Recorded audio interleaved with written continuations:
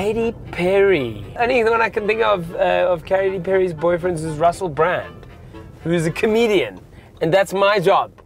It would be pointless for me to teach a comedian how to be funny, unless, of course, that comedian was Jason Goliath. Oh no, he didn't. Oh yes, he did.